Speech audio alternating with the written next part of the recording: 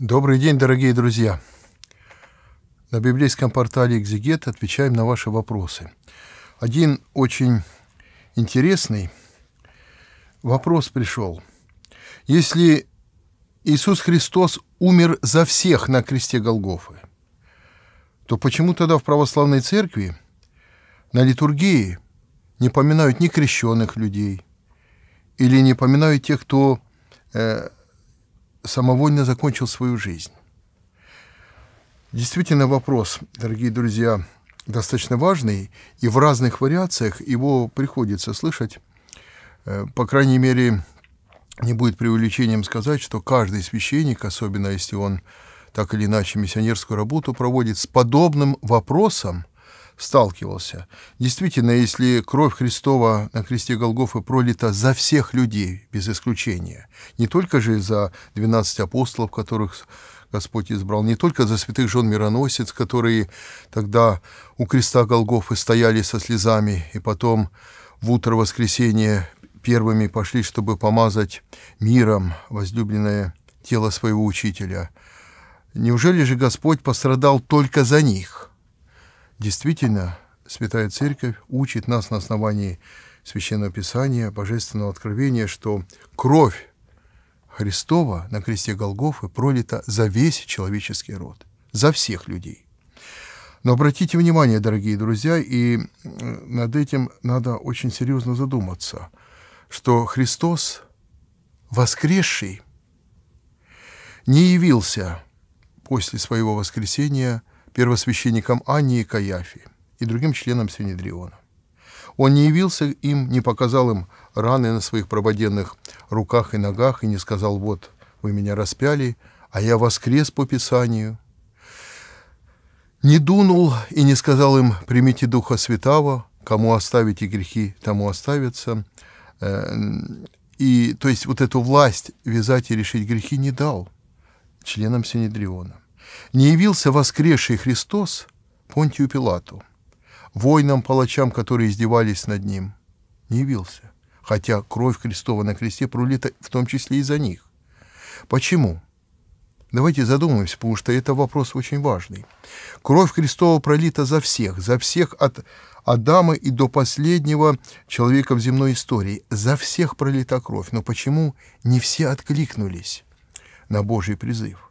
Почему Господь Иисус Христос из Евангелия, дорогие друзья, кто внимательно читает регулярно Священное Писание, вы знаете, что у всех четырех евангелистов, э, у Матвея более кратко, а у святого евангелиста Марка, Луки, Иоанна Богослова так или иначе описывается, что Господь являлся своим ученикам после своего воскресения, открывал им о тайнах Царствия Божия, являлся им неоднократно.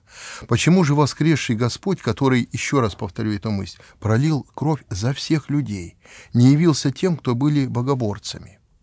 Почему не явился членом Синедриона, а явился только своим ученикам? И почему э, перед своим э, вознесением об этом мы читаем э, у святого евангелиста Луки, Господь говорит им, вывел, из, э, вон, э, из, вывел их вон из города до Вифании, подняв руки свои, благословил их. И когда благословлял их, стал отдаляться от них и возноситься на небо. Они поклонились ему и возвратились в Иерусалим с великой радостью.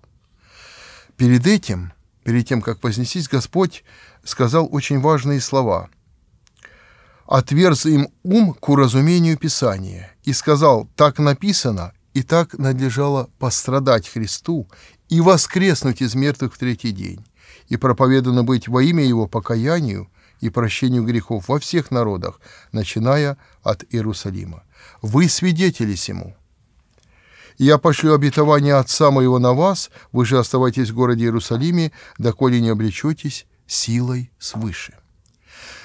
Смотрите, дорогие друзья, Христос, который действительно пролил свою кровь за всех.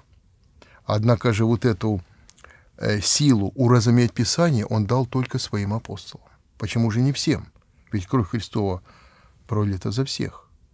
Почему не э, первосвященникам, книжникам, которые тоже были знатоки Священного Писания, и за них тоже была пролита кровь Христова на кресте Голгофы? Почему им он э, не сказал, например, книжникам, первосвященникам, не явился им Христос воскресший, они Христа воскресшего не видели, и не сказал им, что вы облечете силой свыше, а облекутся силой свыше только апостолы, те, которые были с ним, которые уверовали. И самое главное, вот это вот, э, можно сказать, ключевое э, понятие Священного Писания, э, что те, кого Господь сам призвал, не вы меня избрали, но я вас избрал и послал, чтобы вы несли э, проповедь э, о Царстве Божьем. То есть условия Божии. Господь сам избрал тех, кого считал нужным. Именно на них в день Пятидесятницы, как мы об этом э, читаем, кто внимательно Священное Писание читает, во второй главе книги Деяний, в день Пятидесятницы, когда они находились все единодушно вместе, внезапно сделался шум с неба, как бы от несущегося сильного ветра, наполнил весь дом, где они находились. Кто находился? Те, кто были единодушно вместе, святые апостолы, святые жены мироносицы, Пречистая Преблагословенная Дева Мария. И явились им разделяющиеся языки, как бы огненные, и почили по одному на каждом из них. И исполнились все Духа Святого, и начали говорить на иных языках, как Дух дал им провещевать. Если вспомним, дорогие друзья, вот в Евангелии от Иоанна описывается очень подробно прощальная беседа Спасителя с учениками, во время которой Господь им говорит, что Дух Святый, которого пошлет Отец во имя Мое, напомнит вам все, о чем я говорил вам. То есть то, о чем Господь учил в притчах, открывал своим апостолам тайны Царствия Божия, и Дух Святой – напомнит о всех делах и словах Христовых. То есть действие э, спасительное, домостроительство спасения всей Святой Троицы, Сына Божия и Духа Святого, оно едино. Дух Святой не противоречит э, спасительному делу Сына Божия. Господь действительно умер за всех, свою кровь на кресте Голгофы за всех пролил. Но Дух Святой не сходит только на одну единственную общину в Иерусалиме, те, которые были единодушно вместе. И это вопрос, опять-таки, к размышлению тем, которые задают и вам. Наверняка вы, дорогие друзья, такие вопросы слышали. Если вас кто-то спросит, ну почему вот в церкви, допустим, э, такой порядок, почему богослужение такое, зачем э, та или иная иктинья произносится, э, почему вот на проскомедию не подают записочки за совершенно некрещенных, за неверующих, за представителей совершенно других религий. Почему? Разве не за всех умер Христос? Да, умер, Он умер за всех. Но Дух Святой сошел только на общину, на общину святых апостолов. И это было, э, стало основанием новозаветной церкви. Вспомните еще одно очень интересное место в контексте вот сегодняшнего обсуждения. Э, у святого евангелиста Марка – Э, сказано, как однажды апостол Иоанн Богослов говорит Спасителю, «Учитель, мы видели одного человека, который именем Твоим изгонял бесов, но не ходит за нами, и запретили ему». На что э, Христос Спаситель сказал, «Не запрещайте, ибо кто не против вас, тот за вас». И однако же, обратите внимание, в день Пятидесятницы Дух Святой сошел только на Сионскую горницу и на собравшихся там единодушно вместе – Почему же Дух Святой не сошел, например, и на тех людей, которые во время земной жизни Спасителя именем Его также изгоняли бесов, но не ходили с апостолами? Не сошел же Он на них, а сошел только на вот это, э, в, единственное, в единственном месте сошел Дух Святой. Почему? Потому что един Бог, одна вера и одно крещение, и одна святая церковь.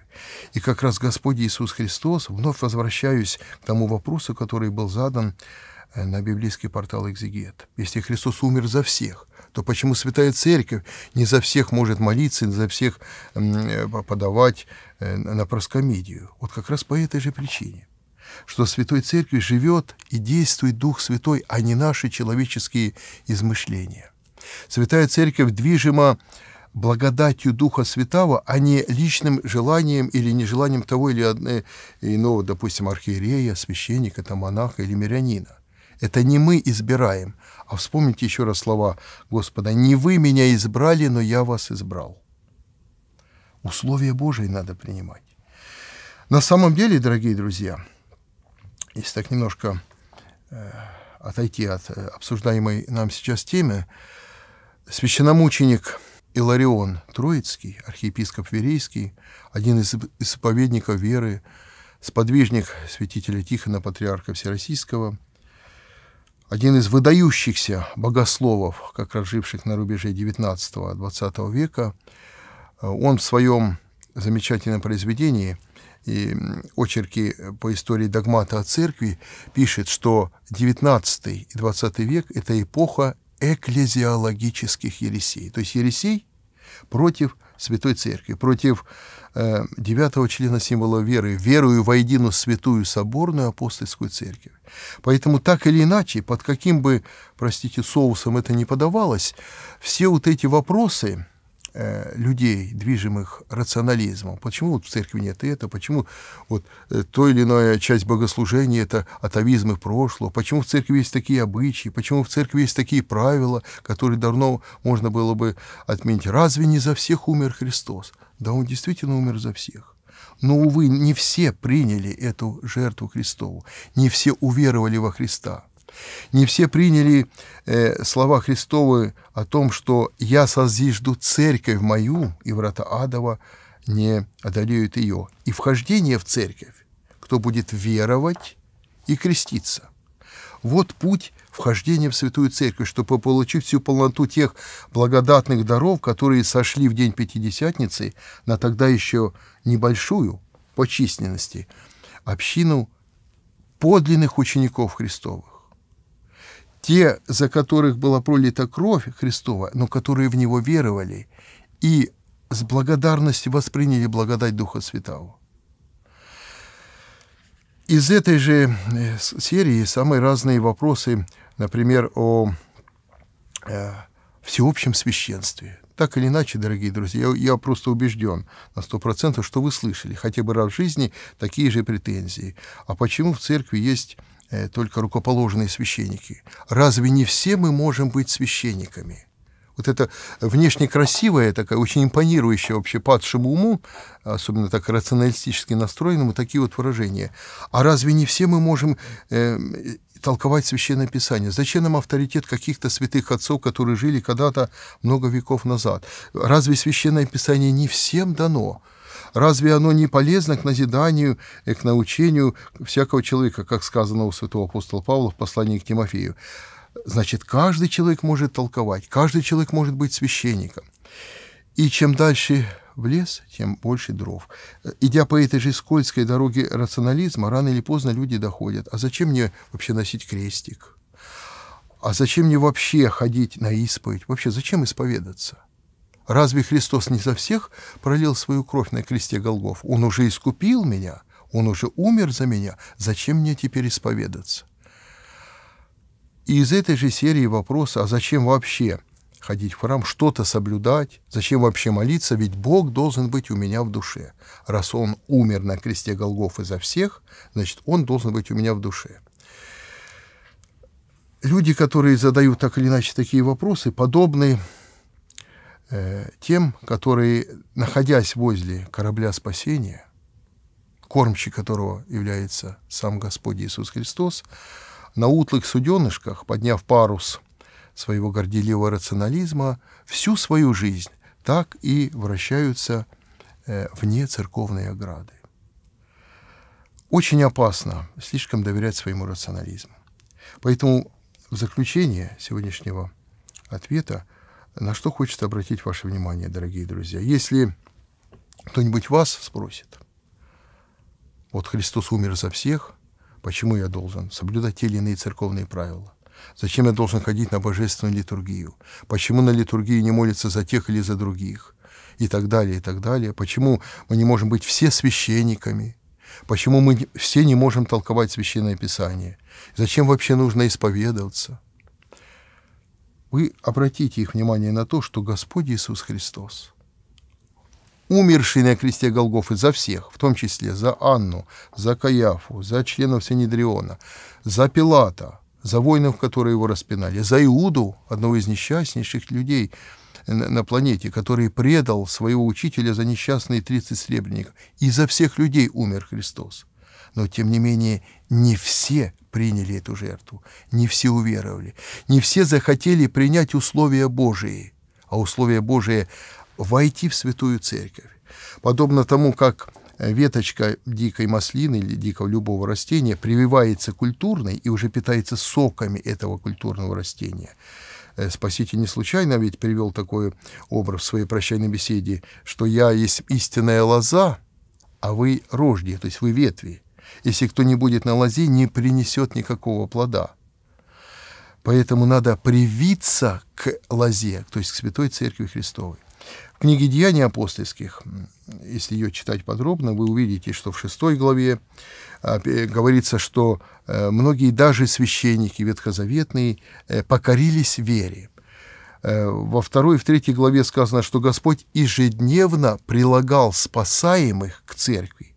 То есть, если кто действительно хочет быть спасаемым, то надо принять условия Божие. Надо через веру во Христа – который за тебя распялся на кресте, пролил свою кровь, веру в Него и принятие крещения, войти в вот этот живой богочеловеческий организм, и тогда ты будешь получать всю полноту благодатных даров Духа Святого, которые в таинствах преподаются всем верным чадам Святой Церкви.